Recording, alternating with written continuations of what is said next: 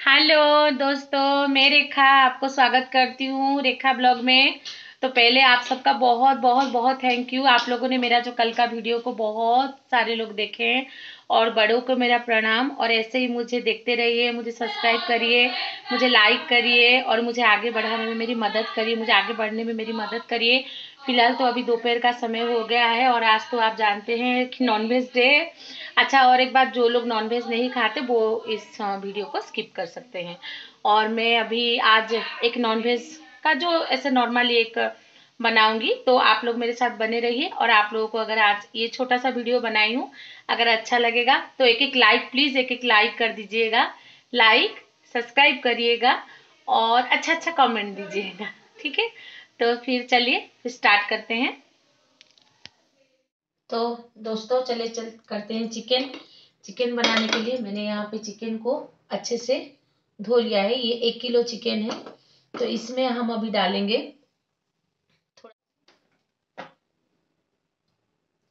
एक स्पून क्योंकि अभी इसको थोड़ा टाइम हम रखेंगे। थोड़ा सा नमक, स्वाद अनुसार।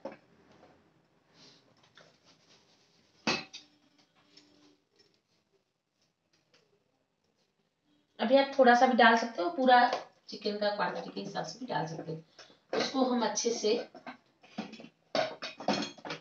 मिला लेंगे बस ये। कढ़ाई बिठाएँगे।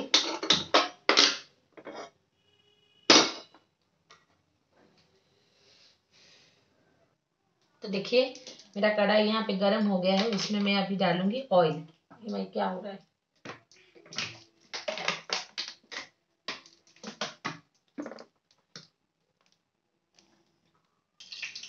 यहाँ पे मैंने चिकन को तो थोड़ा ऑयल लगता ही है।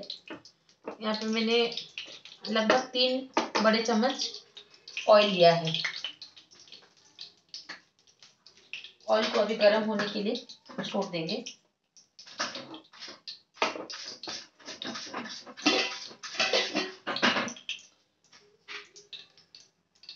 इसमें मैं डालूँगी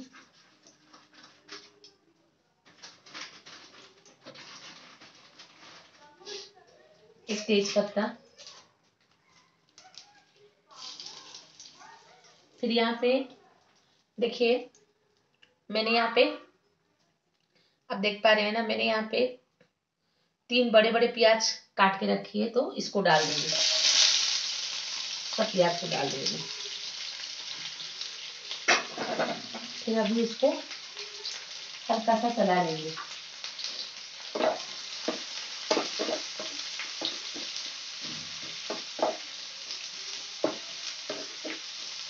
ये थोड़ा लाल होने तक हम इसको चलाएँगे।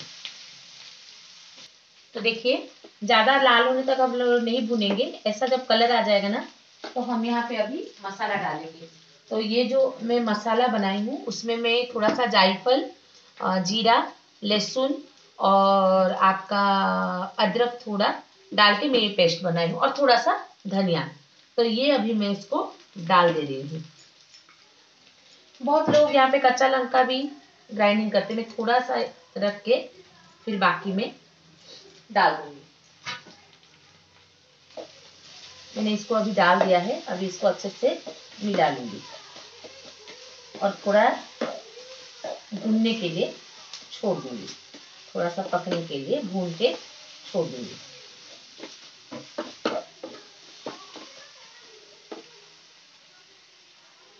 तो देखिए, ये मसाला जब थोड़ा पक जाएगा तो इसमें हम लोग अभी सूखी पाउडर से मसाला डालेंगे। तो यहाँ पे मैं पहले डालूँगी मिर्च का पाउडर छोटा चम्मच में, एक चम्मच, क्योंकि मेरे घर में तो जानते हैं कोई मिर्च ज़्यादा नहीं खाता। थोड़ा हल्दी पाउडर वो भी छोटे चम्मच में, एक चम्मच। उसके बाद मैं अभी नमक थोड़ा सा डाली और थोड़ा सा डाल दूँगी। लगभग एक चम्मच और चिकन मसाला। क्योंकि देखिए, चिकन मसाला मेरा हज खत्म हो गया तो मीट डाल दूँगी और थोड़ा मैगी मसाला डाल दूँगी तो हो जाएगा। थोड़ा सा मीट मसाला और एक पैकेट मैगी का मसाला। इस सबको डाल के ना अच्छे से भून लेंगे। मसाला को अच्छे से भूनने के लिए छोड़ देंगे।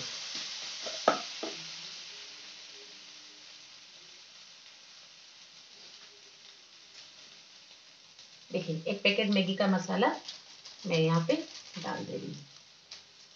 उसके बाद हम लोग सीम में अच्छे से इसको पकने के लिए कोट देंगे।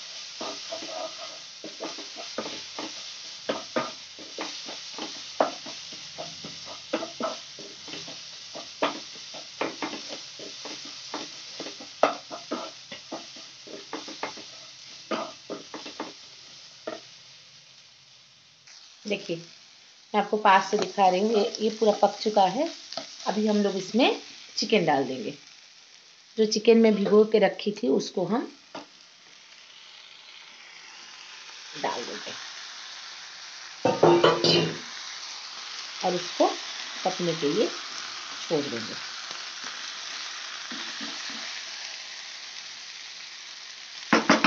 इसको हम सीम में पकने के लिए छोड़ देंगे।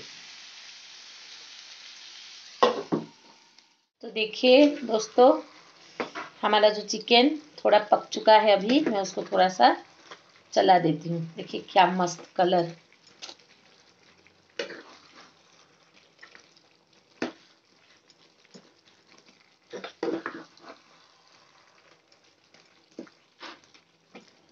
उसको और अच्छे से थोड़ा पकने के लिए छोड़ देंगे।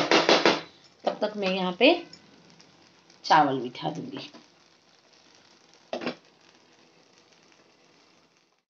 तो देखिए दोस्तों चिकन फाइनली रेडी कितना अच्छा कलर आ रहा है, देखिए। वाह आप एक बार ज़रूर ट्राई करिए। आप तो चिकन बनाते होंगे, लेकिन ऐसे एक बार सिंपल से करिए। कैसा लगा मुझे बोलिएगा।